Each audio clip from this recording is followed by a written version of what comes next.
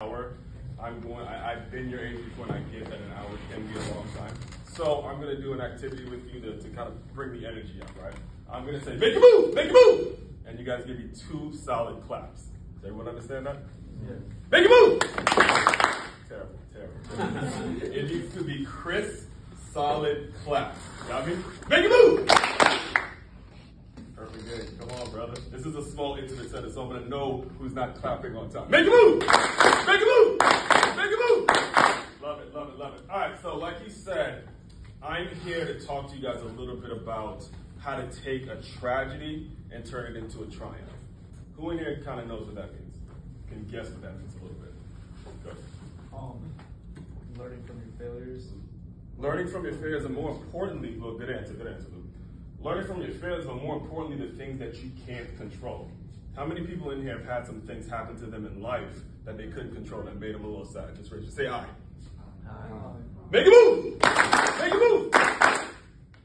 And how do like like what I'm here to discuss with you guys about is how to take that thing that you didn't didn't expect to happen and then turn it into something positive in your life.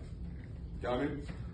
If you really think about it, we would not be connected right now had, had somebody not taken tragedy and turned it into triumph. I'm not sure who in here knows the story of Awom, but it was started by a young lady, her name is Sarah, who lost her father about eight years ago to lung cancer.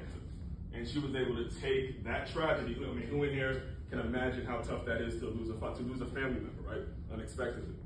And she was able to take that story and turn it into a business to where she doesn't even have to be in certain places, and it's it's touching people, it's pu- pulling people together to have like-minded situations.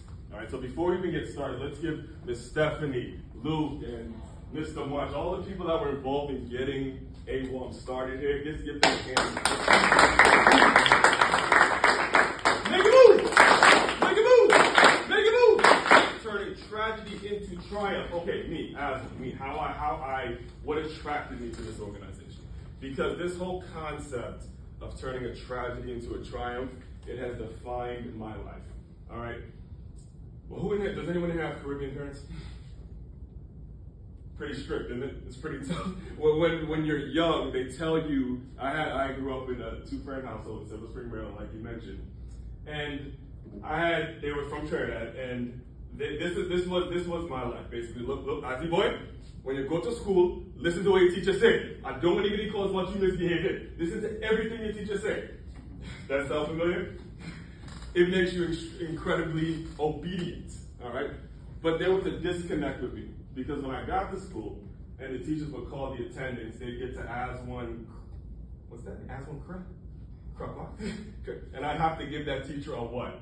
A correction as a little kid. And this is another note you need to jot down. You do not get a second chance at a first impression. Ooh. Ooh. You guys might want to jot that down, mental note text it to someone. You don't get a second chance at a first impression.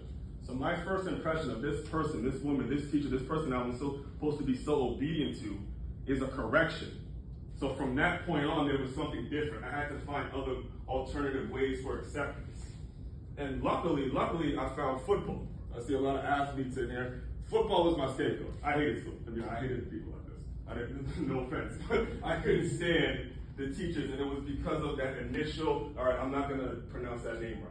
So you guys are blessed to be a part of this organization, but more so, you're blessed if you have something that you can get out and play sports and things like that. So football was my scapegoat.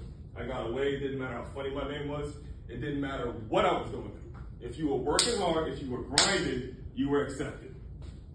Okay? So, actually, you know, just to illustrate, just to illustrate, I learned my left and right playing football.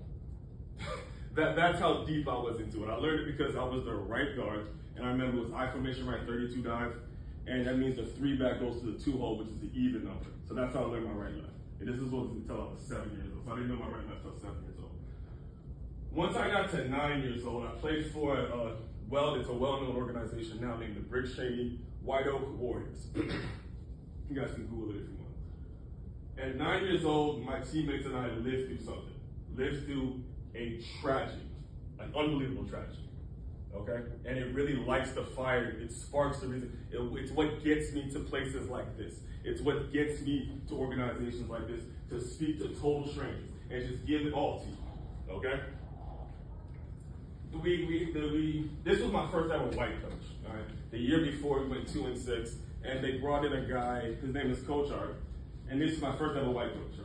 First time teach like he brought a very official feel to the program. This wasn't said verbally, but non-verbally, you could tell Coach Art tells you to do something. You're like, okay, okay, Coach Art, because he wasn't someone's uncle, he wasn't someone's cousin. It wasn't. It didn't feel ghetto, so to speak. I hate to use that term, but it didn't feel like he just was there for his convenience. He was there because he really wanted to be. So we turned our season around. We were playing really well. We had this one team, man, named the Peppermill Pirates. Damn good. I'm saying damn good. I mean, listen, we were in a four playoff. It was a 14 playoff tournament, and we had to play them. We were playing them in the last game of the season, and we were going for the two seed. The first time we played them, we got that ass whooped. I mean, sports that I, I mean, I took one of the hardest hits of my life. Listen, is anyone here in here familiar with football at all?